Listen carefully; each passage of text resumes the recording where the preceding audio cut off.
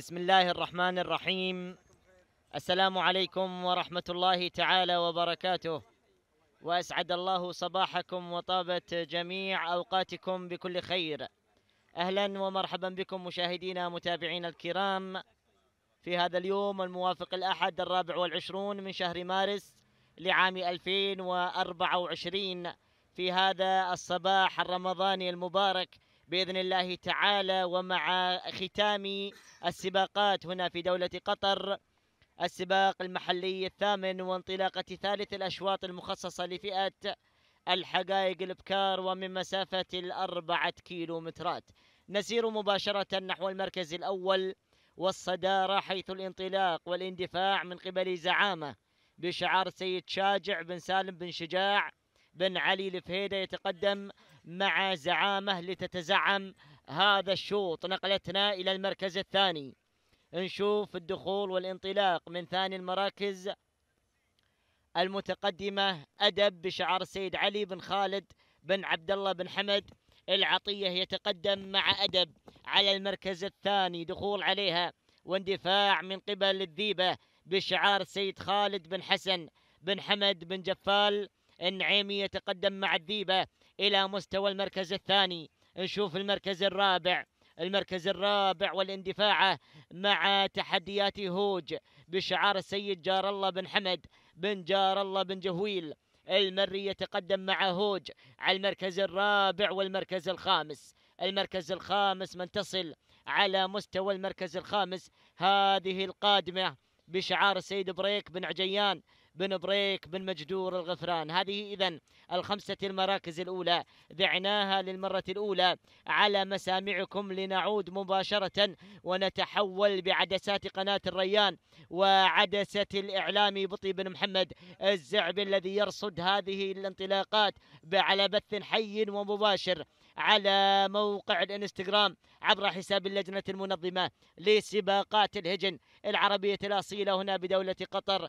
هجن دوت كيو اي فأهلا ومرحبا بالمشاهدين والمتابعين لهذه الانطلاقات المثيرة والتحديات الممتازة. نعود إلى شعار شاجع. من يتقدم مع زعامة منذ الانطلاق وهي ترقص وحيدة خارج السرب شاجع بن سالم بن شاجع بن شجاع بن علي الفهيدة بالرقم واحد وأداء هامية على مية يا أبو سالم يا راعي زعامة. المركز الثاني المركز الثاني تابع الوصول والقدوم من القادمة بريك بن عجيان بن بريك بن مجدور الغفران. آه، هي قادمة هو اسمها القادمة اسمها القادمة والمركز الثالث المركز الثالث هذه الذيبة خالد بن حسن بن حمد بن جفال النعيمي والمركز الرابع. المركز الرابع مشاهدينا الأعزاء تصل هوج مع المركز الرابع جار الله بن حمد بن جار الله بن جهويل. المري والمركز الخامس المركز الخامس تصل أحد الأسماء. القوية تصل إثارة بشعار السيد محمد بن سلطان بن مطر بن مرخان. الاكتبي عودة إلى البداية. نعود إلى الصدارة التي تحمل لنا زعامة. على البداية والمركز الأول ما شاء الله عليها ما شاء الله عليها وحواليها. بدأت في زيادة سرعتها لتنفرد عن باقي المشاركات مع المقدمة تسير. شاجع بن سالم بن شجاع بن علي الفهيدة. شجاع وهو شجاع بهذا الانطلاق الاستثنائي. عصاتها في ابطانها وعليها الرقم واحد. ومنذ الانطلاق هي من استفتحت النداء وتريد أيضا أن تختم هذا النداء. وهذا الشوط باسمها وباسم مالكها.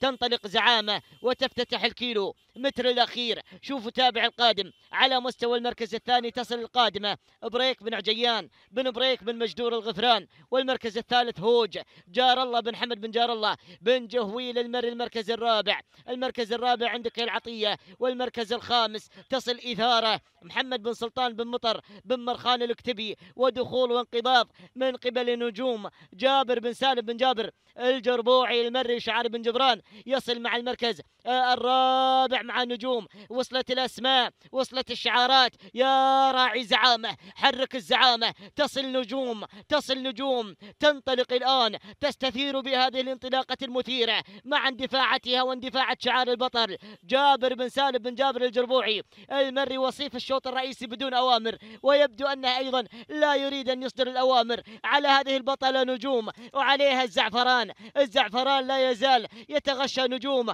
لكن زعامة زعامة لا تزال صامدة على المقدمة منذ الانطلاق وهي صاحبة الكلمة الأقوى والكلمة الأعتى. حتى هذه اللحظات زعامة والأمتار. الأخيرة شاجع بن سالم بن شجاع بن علي الفهيدة بدون أوامر ولا تعليمات. انطلقت الآن وانطلقت نجوم انطلقت نجوم على المركز الثاني. بن جبران البطل البطل البطل البطل. أبى إلا وأن ينتزع المركز الأول عند آخر الأمتار. سلامي والله عليك يا بن جبران. على أداء نجوم وانطلاقتها المميزة المركز الثاني زعامة شاجع بن سالم بن شجاع بن علي الفهيد المركز الثالث إثارة بشعار السيد محمد بن سلطان بن مطر بن مرخان الكتبي المركز الرابع.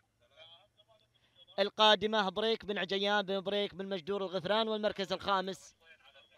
الخامس كان مع هوج بشعار السيد جار الله بن حمد بن جار الله بن جهويل المري التوقيت الزمني مشاهدينا الكرام.